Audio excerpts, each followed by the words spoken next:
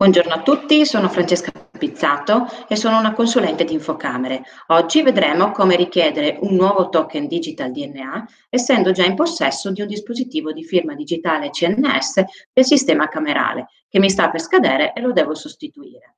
Il portale è lo stesso per tutte le camere di commercio ed è il seguente in ogni sito della vostra Camera di Commercio di riferimento che ha questo servizio, eh, verrete rimandati a questo indirizzo. Alla fine della pagina clicchiamo qui.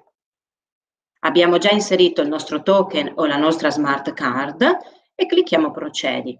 Ci legge il nostro codice fiscale, ci chiede il codice PIN. Eccoci qua, ha ribaltato in automatico i dati personali e adesso dobbiamo dire che tipo di richiedente siamo, o privato cittadino o legale rappresentante.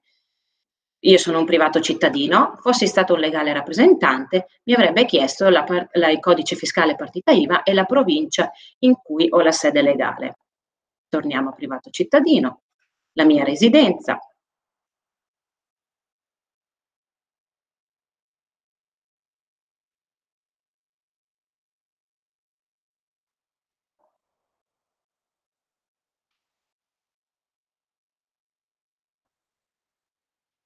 il tipo di documento, il mio indirizzo email e il mio numero di telefono. Poi devo inventarmi una passphrase. La passphrase ci servirà per aprire il PDF che ci arriverà tramite email e conterrà il PIN e il PUC del nostro dispositivo. Avanti. Possiamo andare a scegliere la nostra Camera di Commercio di competenza. Io risiedo in provincia di Pordenone, per cui mi viene proposta la Camera di Pordenone Udine. Fossi stata residente in provincia di Venezia, mi avrebbe eh, proposto la, la, la Camera di Commercio di Venezia Rovigo. Se fossi stato un legale rappresentante e avessi inserito la sede legale del, della mia azienda, mi avrebbe proposto la Camera di Commercio in riferimento alla mia eh, sede legale. D'accordo? Il tipo di dispositivo, ovviamente, un token, e seleziono il tipo di consegna. La Camera di Commercio di riferimento per me eh, consegna solamente andando di persona in Camera di Commercio o mandando una terza persona anche, mentre ci sono anche altre Camere che ehm, hanno la consegna eh, tramite corriere o tramite posta. Fleggo tutti e tre i quadratini e clicco avanti. Mi chiede di scaricare i due documenti, li scarico tutti e due Adesso li vado a firmare e poi a reinserire.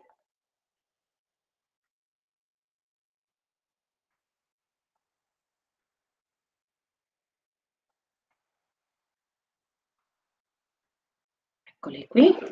Allora, firmiamo il modulo.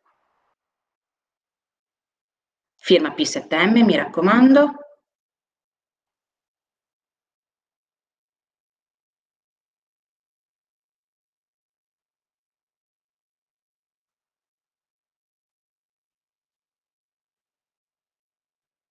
Ok? E firmiamo anche le clausole.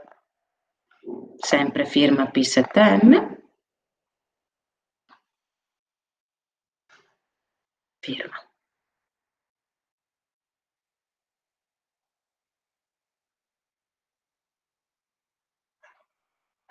Perfetto. Ritorniamo, scegliamo il modulo, quello firmato, upload, Scegliamo adesso le clausole firmate, upload, perfetto, avanti. Mi fa un riepilogo e mi dice che il tipo di pagamento, il metodo di pagamento sarà pago PA. Andiamo a verificarlo.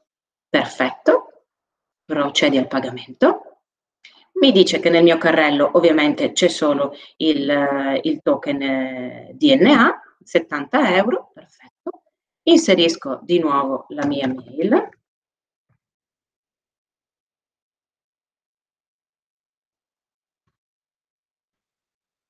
Riconfermiamo la mail.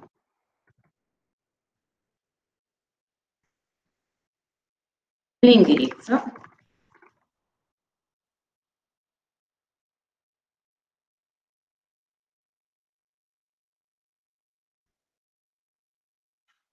prosegui. L'intestatario appunto sono io e faccio prosegui. Ok.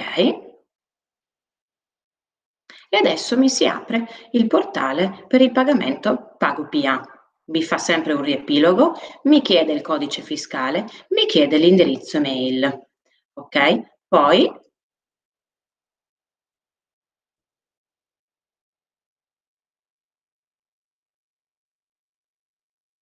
Ok, il mio indirizzo